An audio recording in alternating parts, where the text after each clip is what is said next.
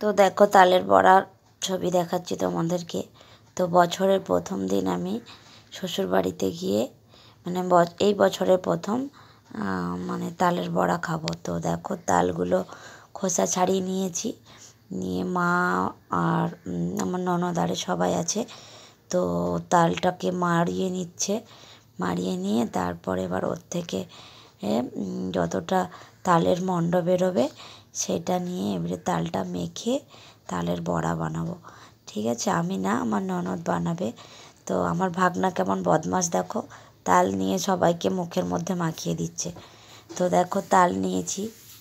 তার সাথে চিনি, সুজি, নুন আর ময়দা, আটা সব কিছু দিয়ে ভালো মতো করে মেখে কিছুক্ষণ রেখে দেব।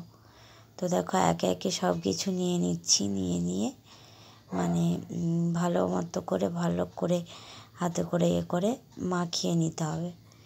তো জল ইউজ করব না। তালের যতটা জল আছে, ওই জলই হয়ে যাবে। তার সাথে চিনি আছে। চিনিতে তো জল বেরোয়। তো জল আর চিনি দুটো মিলে একসাথে দিয়ে মিক্স করে নেব।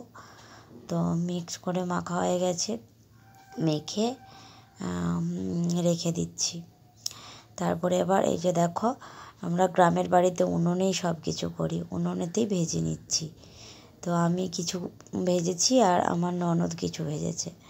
তো আমি ভাজলাম, সেটা দেখালাম আর আমরা দুজনে মিলেই করলাম, আমি আর আমার মেজ ননদ।